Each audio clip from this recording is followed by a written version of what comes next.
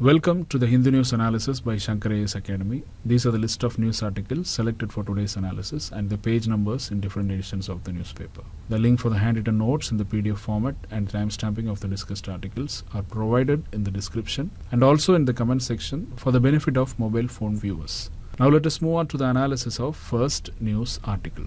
This news article is about the significance of dust and its role in impacting atmospheric circulations. Primarily, herein we will talk its impact on Indian summer monsoon. The syllabus relevant to this article is highlighted here. CVC dust as a useless speck, but this so called useless speck has incredible power. It has potential to influence monsoons, it can also influence hurricanes and even fertilize rainforests. This study has detailed how the dust coming from the deserts in the West Asia, Central Asia, and East Asia, how these dust plays an important role in the Indian summer monsoon. In addition to that, the study also analyzed the reverse effect. That is, the study also tried to explain how the Indian summer monsoon has a reverse effect and how it can increase the winds in West Asia to produce more dust. That is how Indian monsoon can increase the winds in West Asia to produce more dust. See, the climate of India is described as monsoon type in Asia, this type of climate is mainly found in the South Asia and the Southeast Asia. India experiences two kinds of monsoon, which are Southwest monsoon and Northeast monsoon. Southwest monsoon is also known as the Indian summer monsoon, which occurs between June and September. Northeast monsoon is also known as the retreating monsoon or winter monsoon, occurring from the months of October to November. When it comes to Indian summer monsoon, there are five important factors that influences the onset of monsoon. What are they? Intense low pressure formation over the Tibetan plateau, then permanent high pressure cell in the south of Indian Ocean, then subtropical jet stream, African easterly jet, then intertropical convergence zone then the intensity of the monsoon is influenced by some factors. That is, the intensity of Indian summer monsoon is influenced by some factors. One is the strength of low pressure over Tibetan Plateau and the strength of high pressure over the South Indian Ocean. Then Somali jet, Somali current, then Indian Ocean dipole, then the Indian Ocean branch of Walker cell. Now, coming back to the article, let us see how dust and Indian summer monsoon interplay each other. See, the dust swarms from the desert, they are lifted by strong winds. These lifted dust swarms then absorb solar radiations. As a result, these swarms become hot. Then these heated dust swarms that are present in the atmosphere cause heating of the atmosphere. As we know, the heating of the atmosphere changes the air pressure in the system that ultimately changes the wind circulation patterns. All these events finally influence transport of moisture and increase precipitation and rainfall. Similar to this, a strong Indian summer monsoon can also transport air to West Asia. This transported air again picks up a lot of dust in West Asia. Therefore, the whole system forms a positive feedback loop. Now, in addition to that, the researchers also believe that the dust from the Iranian plateau also influences Indian summer monsoon. Similarly, Indian summer monsoon also influences the dust over the Iranian plateau.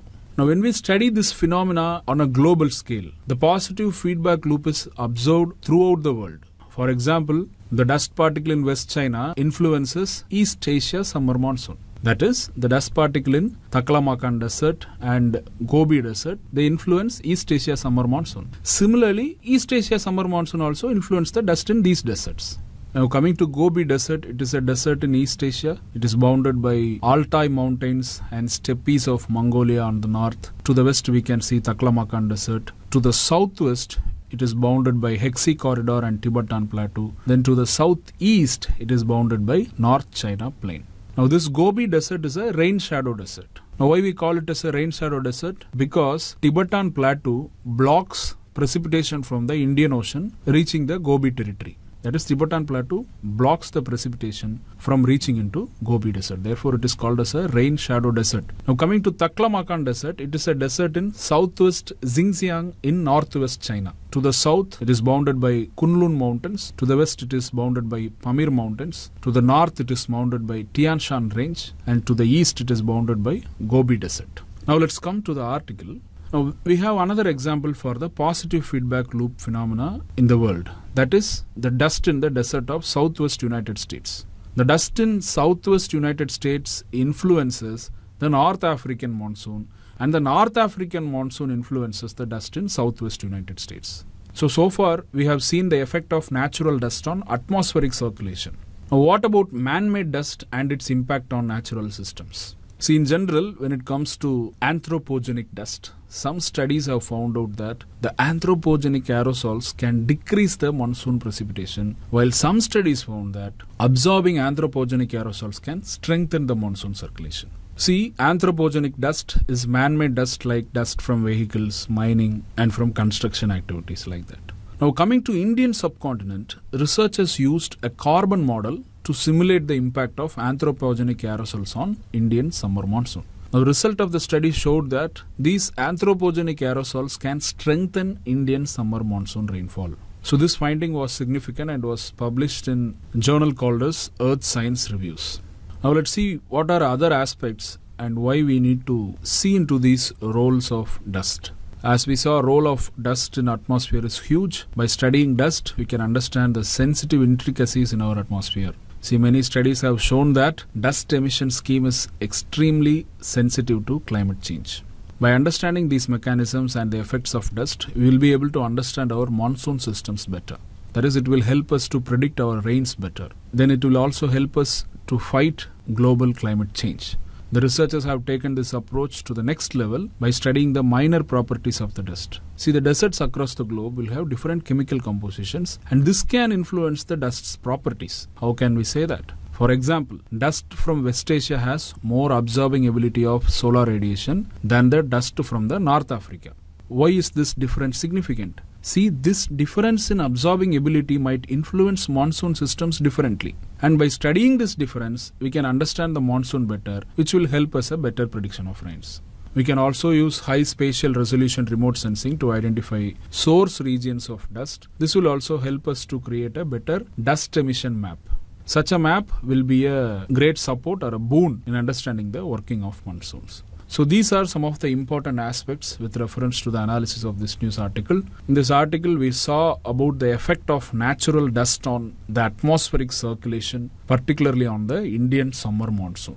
Then we saw examples for the positive feedback loop that is found in the world with respect to dust and monsoon. We saw the factors that influence the onset of Indian summer monsoon and the factors that intensify the Indian summer monsoon. Now let's move on to the analysis of next news article. This news article is about the epidemiology of diphtheria and the new trends that are associated with this disease. Yesterday on the discussion of corona based article, we saw what is epidemiology, which by definition is simply the study of distribution and determinants of health related states and events that are found in specified populations this might be population in a neighborhood, in a school, city, state, or in a country, or at the global level. That is, the sample can be any section of population, which is called as deme in biology. And this study, which we are saying, it must be a scientific study, systematic and data driven study. Here, health related states and events are not just restricted to diseases. In this context, today's article focuses on the pattern of diphtheria so let us first know about this disease. See, it is a bacterial disease which is caused by a bacteria called as Corynebacterium diphtheria, commonly called as C. diphtheria. See, according to the data available with the Central Bureau of Health Intelligence of Ministry of Health and Family Welfare, during the period from 2005 to 2014, India has reported 41,000 cases with around 897 deaths. On an average, 4,167 cases per year have been reported. And as you can see, the case fatality ratio is 2.2%. The transmission is commonly through bodily secretions. Sometimes skin contacts on ulcers also cause transmission. Now, diphtheria it particularly affects the children who are aged 1 to 5 years of age. Now let us see how does this bacterium causes the disease. See, Corynebacterium diphtheria, it primarily infects the throat and upper airways. Then it produces a toxin that affects other organs. See, one type of diphtheria affects the throat and sometimes this affects the tonsils. Another type of diphtheria causes ulcers on the skin. Now, these are more common in the tropics.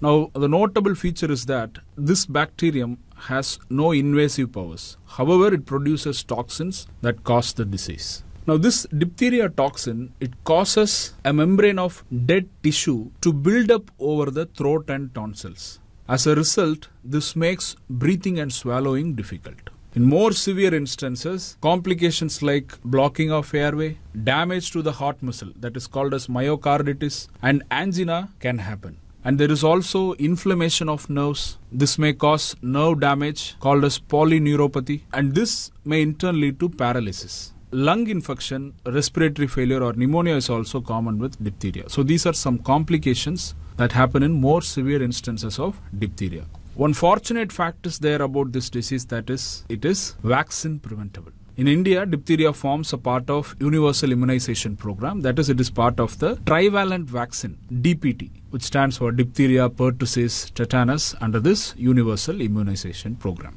Then there are also antitoxins of diphtheria. They are also cultured and they are also available as a mainstay of treatment with the onset of this infection. Then this bacteria, they are susceptible or they can be killed by antibiotics like penicillin. See, penicillin belongs to a group of antibiotics called as beta-lactam group. That is, these group of antibiotics, they act on beta-lactam based bacterial wall. In the end, they will kill the bacteria. So we so far discussed the basics of the disease and the treatment. But what is of concern is the circulating variants of this disease. In yesterday's discussion, we saw that mutations can cause variations in virus. And in terms of such mutations or variations, this diphtheria is also no exception. The emergence of variants of diphtheria has worried the medical fraternity. This fact is highlighted in this news article. See, researchers from India, UK, and Russia they have analyzed a large collection of around 502 genomes, which were sourced from more than 16 countries, collected over a period of 122 years with reference to Corynebacterium diphtheriae. The results of the study hint that we need to anticipate increase in incidence of diphtheria. That is, in future and also in the present, diphtheria cases might increase. The study states three reasons for this why we need to anticipate the increase in such incidents. One is that there is diversity of the diphtheria bacteria species.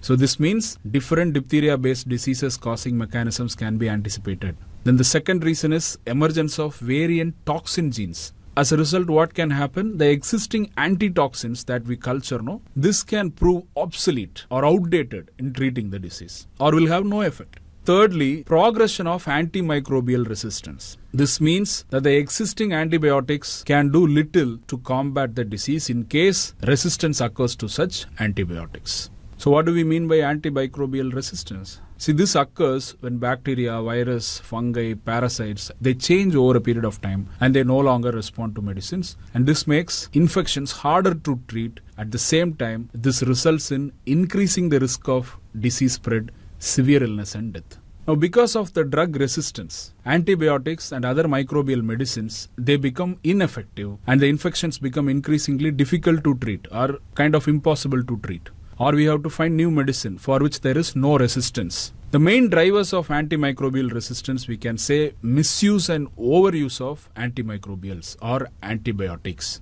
And antimicrobial resistance occurs naturally over time, usually through genetic changes. For example, say a person is infected with diphtheria and for treatment penicillin is given, the person is cured of it.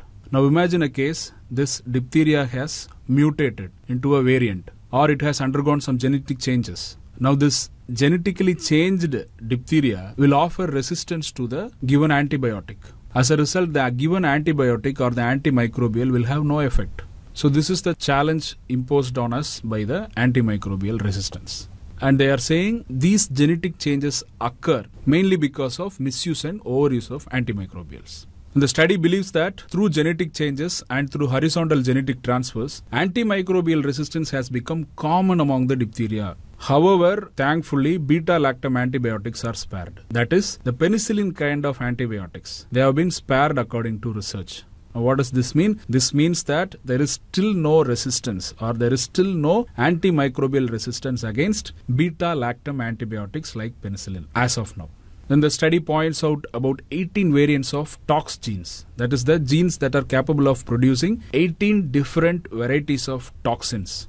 Why we have to worry about this? Because we have developed currently only one kind of antitoxin and only one kind of toxoid vaccine. But there are about 18 variants of tox genes. So this is a challenge. Here, when we say toxoid vaccine, it refers to a vaccine where the milder version of toxin is made to elicit or to generate an immune response, and this makes the body familiar to diphtheria toxin. Thereby, it makes the body ready to fight the disease.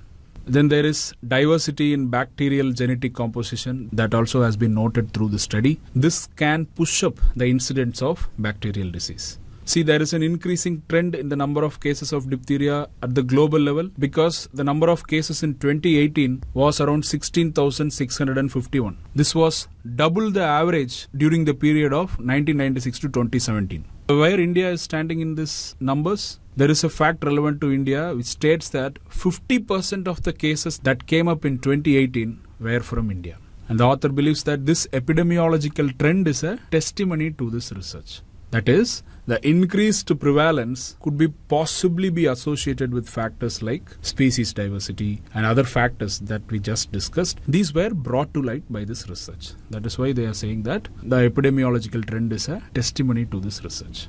In addition to this, combating diphtheria can be complicated by phenomena like, as we saw, antimicrobial resistance. So these are some of the information with reference to the analysis of this news article. In this news article, we saw about diphtheria, what causes it, how it causes, what are various complications it may lead into, what are the treatment methods that are available, and what are the factors or that may accentuate more incidence of this disease in present and also in the near future. Now let's move on to next news article discussion.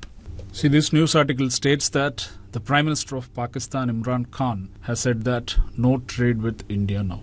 Earlier, Pakistan had decided to allow trade between India and Pakistan. However, Pakistan has decided to revoke its decision. In that light, let us have a glimpse on the contours of India Pakistan trade. See, in August 2019, Pakistan decided to suspend bilateral trade with India. At that time, it was said that it is because of the fallout of constitutional changes made in Jammu and Kashmir by the Indian side. As we know, the erstwhile state of Jammu and Kashmir was bifurcated into two union territories called as Union Territory of Jammu and Kashmir and Union Territory of Ladakh. However, many experts and others believed that the underlying reason or the actual reason for suspending trade from the side of Pakistan in August 2019 was the 200% tariff that was imposed by India on Pakistani imports earlier that year. This happened after India revoked the most favored nation status to Pakistan. And why India revoked MFN status to Pakistan? Because of the alleged involvement of state sponsorment associated with Pulwama terrorist attack. It should be noted here that India granted MFN status to Pakistan in the year 1995. However, there was no reciprocal engagement from Pakistan as Pakistan never gave that status to India. Now you can have a look at this infographic to have a glimpse on the trade items and the trade balance with reference to India and Pakistan. As you can see over the years, India has had a trade surplus with Pakistan. That is, India import less and export more. This means exporters from India are benefited. And Pakistan was among India's top 50 trade partners in 2018-19, but it was pushed out of the list in 2019-20 and it had been anticipated that a trade ban between the countries would affect Pakistan more if we compare relatively. And this is largely because Pakistan relied heavily on India for key raw materials, particularly for its textiles and pharmaceutical industries. So, what is the rationale behind Pakistani side to remove the ban on trade? Why they recently announced that they will start or carry out trade with India? Firstly, because of shortage in raw material as there is shortage in raw material for Pakistan's textile sector, Pakistan decided to lift the ban on cotton imports. At the first place, why there was shortage in raw material for Pakistan's textile sector? This is because of low domestic yields of cotton there. Secondly, cheaper imports from India. Cotton and sugar imports from countries like US and Brazil, they are costlier for Pakistan and they are also taking longer time to reach Pakistan. Then thirdly, high domestic demand and prices. Particularly, the decision on sugar was dictated by high demand and high domestic prices. So the decision to import sugar and other related items is a measure to stabilize the domestic market prices in Pakistan.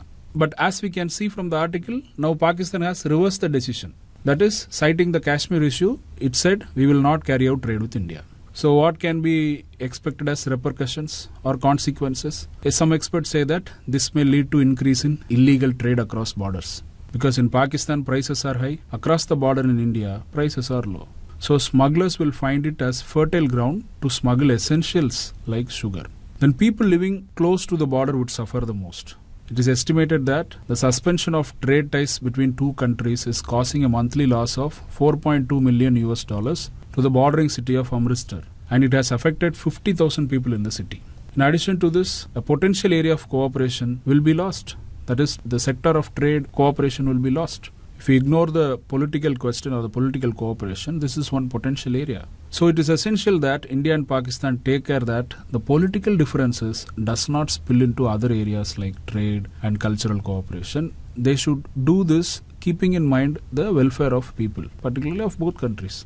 Because from Indian side, who exports to Pakistan? Is it just our government? No, it is our people living close to the borders. As a result of such bans, the market of Indian exporters in Pakistan is lost. In addition to this, see trade sectors or trade avenues, they could also be used to minimize the differences in the political arena. And this can be used as a parameter to achieve a long time solution for the disputes between India and Pakistan and we can also utilize platforms like SAARC to further the trade realization that can be considered as a welcome step. So these aspects could be done to improve the Indo-Pak trade. So these are some of the aspects with respect to the analysis of this news article. In this analysis, we saw about the decision of Pakistan in August 2019 and the recent decision to resume trade between India and Pakistan and the current decision to not carry out trade with India. We also saw some information about India Pakistan trade and what should be done, keeping in mind the welfare of people. Now let's move on to next part of the discussion.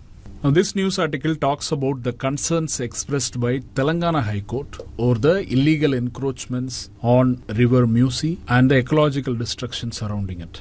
In this regard, the High Court has instructed the government authorities to file an action taken report immediately. In this context, let us have a brief understanding about this river Musi. See, it is a tributary of Krishna River. Remember, among the major tributaries of Krishna River, Ghataprabha, Malaprabha, and Tungabhadra, these are principal right bank tributaries. On the other hand, Musi, Bhima, and the Munneru are the principal left bank tributaries. In the earlier days, this river, Musi River, was known as Muchukunda River. It rises in Anantagiri Hill in Rangareddy district of Telangana and it flows into the Krishna River at Vedapalli in Nalgonda district. It consists of two rivulets, Isi and Musa. These rivulets converge into Musi River. Remember that this river is the water source for Hyderabad for over a century. Hyderabad stands on the bank of this river.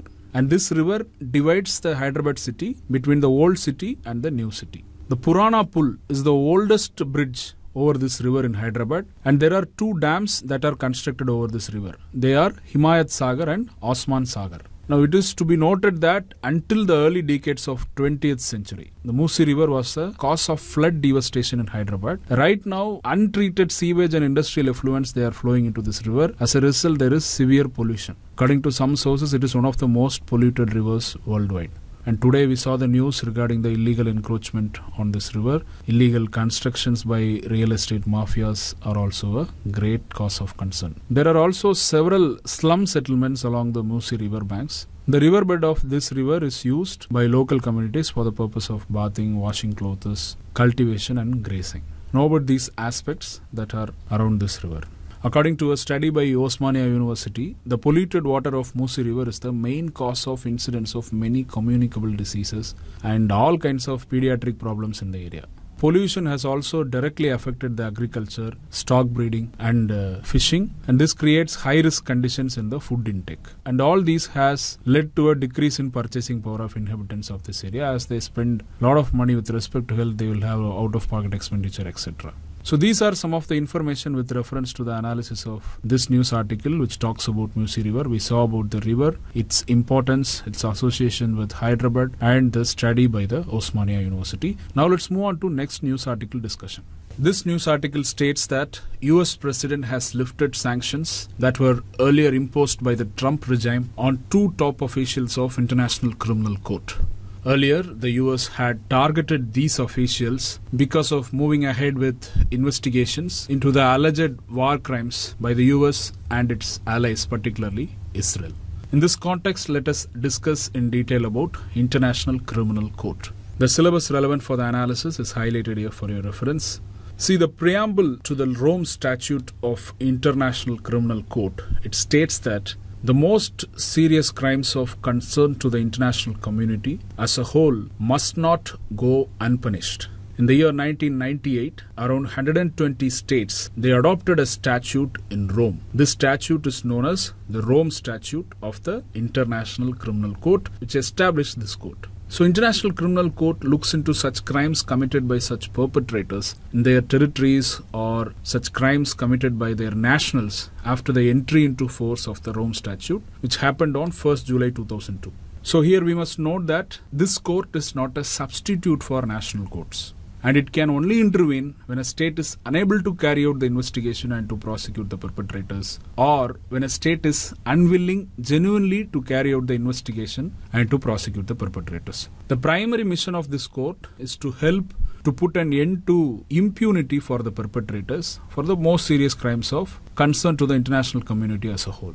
That is they must not be left unpunished now let us have a look at its jurisdiction. See, this statute grants the court jurisdiction over four main crimes. What are they? They are crime of genocide, crimes against humanity, war crimes, and the crime of aggression. When we say crime of genocide, it refers to a crime that is characterized by specific intent to destroy a group of members. This group could be group of a nation or part of group of a nation or an ethnic group or a racial group or a religious group. They could be destroyed by killing its members or by other means. Secondly, this court can prosecute crimes against humanity. See, these are serious violations committed as part of large scale attack against any civilian population. Some of the crimes against humanity that are listed in Rome Statute, we can see offenses like murder, rape, enforced disappearances, enslavement, particularly of women and children, sexual slavery, torture, apartheid, and deportation. Then third comes war crimes. See, these are grave breaches of Geneva Conventions in the context of armed conflict. See, Geneva Conventions of 1949 gives a list of war crimes, which are willful killing, torture or inhuman treatment, unlawful deportation, taking hostages, and other grave breaches of Geneva Conventions is listed here for your reference. And finally, the fourth crime falls within the jurisdiction of ICC is the crime of aggression. It is the use of armed force by a state against the sovereignty, integrity, and independence of another state. The definition of this crime was adopted by amending the Rome Statute in 2010, and this happened at the first review conference of the statute in Kampala in Uganda. Finally, let us see some important facts about this court. See, the seat of this court is in The Hague in the Netherlands. Rome Statute provides that the court may sit elsewhere whenever the judges consider it desirable. This court is funded by contributions from state parties and also by voluntary contributions from governments, international organizations, individuals, corporations, and even other entities. Most importantly, note that this court is not an agency of the United Nations. On the contrary, if you take International Court of Justice, it is one of the six principal organs of United Nations but ICC is not. It is a ICC is a independent body whose mission is to try individuals for crimes within its jurisdiction, and for this there is no need for a special mandate from United Nations. See, ICC prosecutes individuals, not groups or states. Any individual who is alleged to have committed crimes within the jurisdiction of ICC may be brought before it. And with reference to India, note that India did not sign the Rome Statute and therefore we are not a member of International Criminal Court. The same applies also to our neighbors such as Pakistan, Sri Lanka, China, Myanmar. So these are some of the information with reference to the analysis of this news article. In this analysis we saw about International Criminal Court, the Rome Statute and the jurisdiction of this court. Now let's move on to the analysis of next news article. This article states that Jordanian security forces arrested a former advisor to King Abdullah on security related grounds. In this context, let us discuss in detail about Jordan, its geography, political history, and few other aspects. See, Jordan is an Arab country in the Southwest Asia. It is located in the rocky desert of northern Arabian Peninsula. In the north, we can see Syria to the east. It is bounded by Iraq, and in the southeast and south, we could see Saudi Arabia, and it is bounded to the west by Israel and the West Bank. This West Bank area is named as it lies just west of the Jordan River. And uh, this West Bank region was under Jordanian rule from 1948 to 1967. After that, it was occupied by Israel. Jordan has a very small coastline of nearly 26 kilometer on the Gulf of Aqaba, which we can see in the southwest.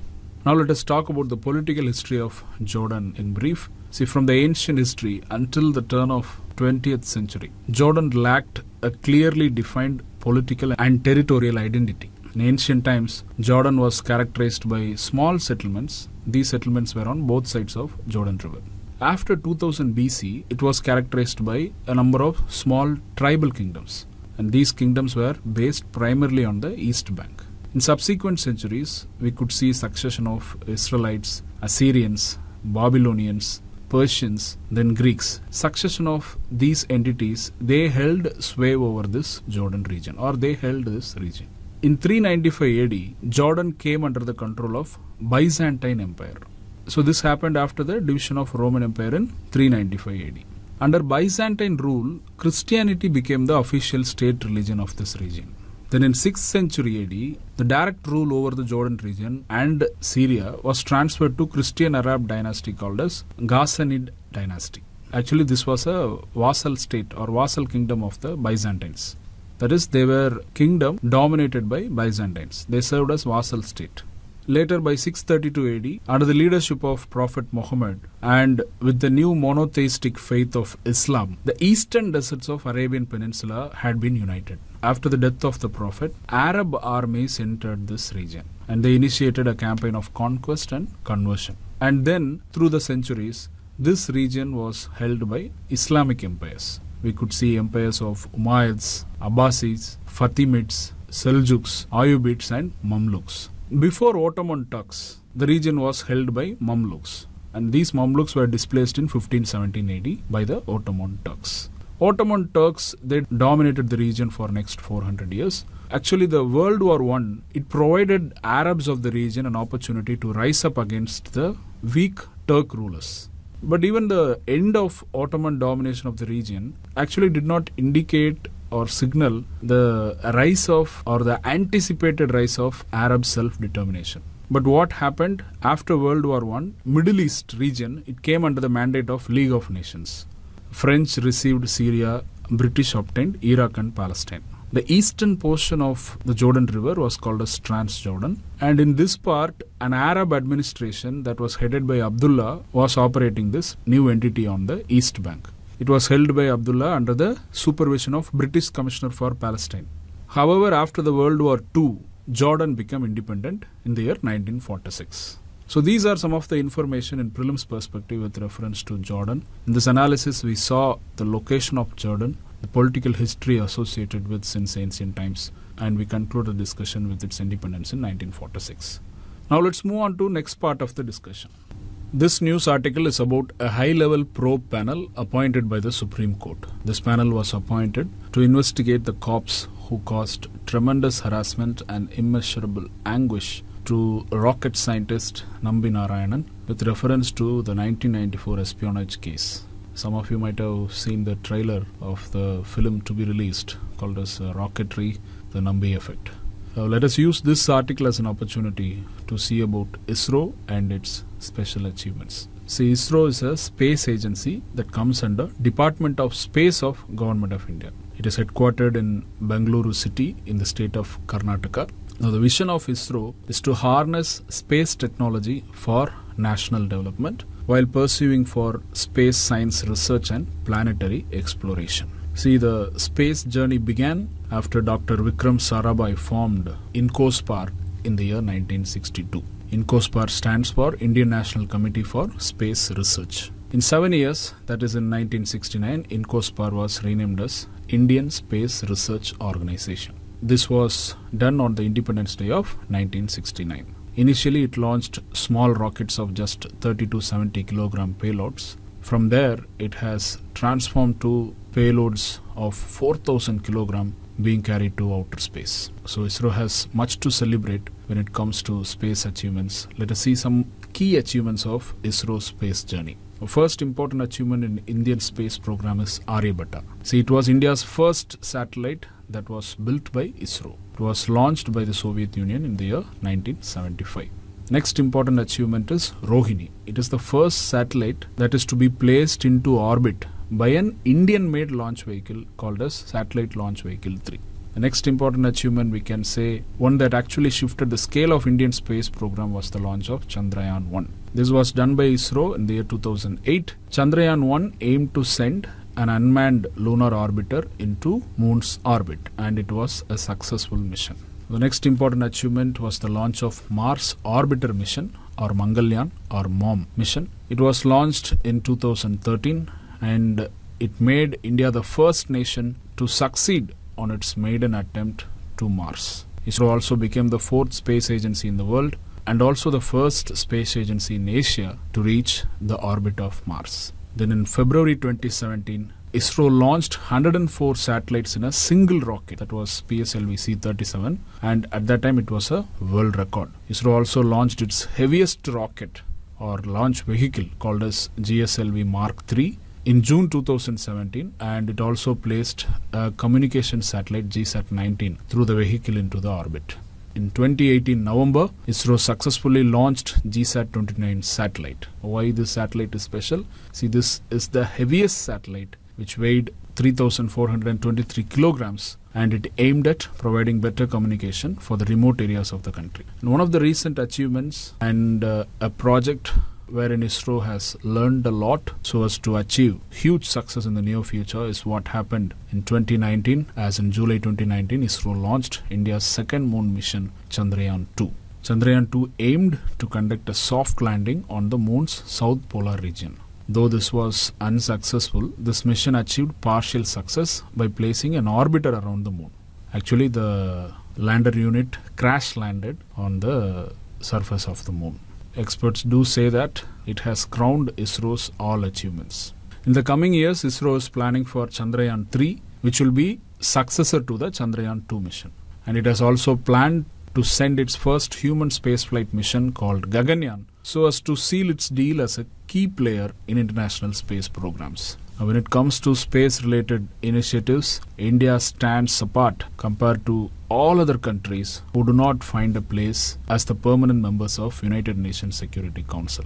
And today if you take top 5 countries in the world with remarkable achievements in space, India is undoubtedly one among them. This is because of scientists like Vikram Sarabhai, Abdul Kalam and others who have played a crucial role in space research for the national development of our country. With this, let's move on to next part of the discussion. Now we have come to the last session, the practice questions discussion session. See this question with reference to diphtheria. Three statements are given. They're asking which of the above statements are correct.